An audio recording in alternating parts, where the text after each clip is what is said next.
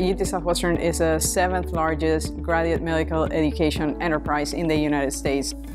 Our trainees see a diverse patient population. We have a county hospital environment, a university hospital environment, a fabulous children's hospital, a veterans hospital. UT Southwestern has a reputation for excellence in research uh, and clinical care. We have to also be leaders in diversity and inclusion. The diverse inclusive aspect is one of the reasons I came to UT Southwestern. It has a very diverse group of not only residents, but the patient population here in Dallas. I have used translators for languages that I've never even heard of in the past year, and it's really cool.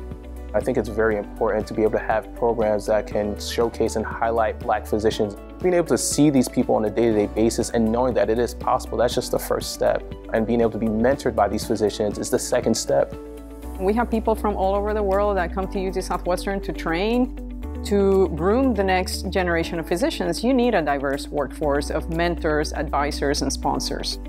The faculty here are incredible. They're intelligent and they're so warm and welcoming.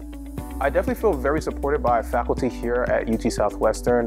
One of the things that I've been able to start with the support of faculty was a diversity house staff inclusion program part of being a, great clinician is not only learning the mechanics of medicine, but it's everything you bring to the bedside, the respect for cultures and the respect for people of all backgrounds. Virtually every specialty or subspecialty within the House of Medicine is represented here. We have close to 1,500 residents representing close to 200 specialties. You get a foundation here so that you're ready to take the next step of just being an outstanding clinician and clinician scientist. UT Southwestern has that great combination of a wonderful institution in which to train, but also a vibrant city. Dallas has lots of great food and it's a very diverse city as well. So it's just nice meeting a lot of different types of people.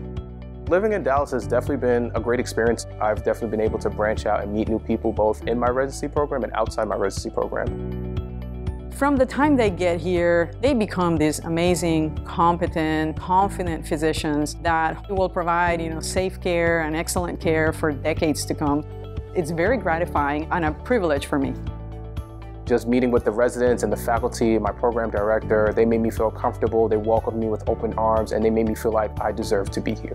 I feel like I am just part of a huge conglomerate of great, diverse doctors.